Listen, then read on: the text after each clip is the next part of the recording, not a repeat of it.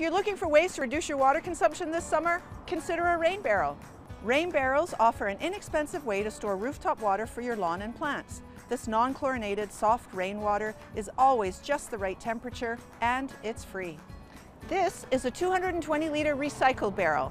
Push in the spigot at the front and the overflow adapter at the back. The hose will keep any overflow away from your foundation. Now the mosquito-proof screen goes on top. Put your rain barrel on a stand so it's easier to fill a watering can. Cut your downspout about 15 centimeters above the top of the barrel. You may need to attach a short, flexible pipe or an elbow to direct water into the barrel. Just remember, as soon as frost arrives, store the rain barrel indoors or upside down if outside.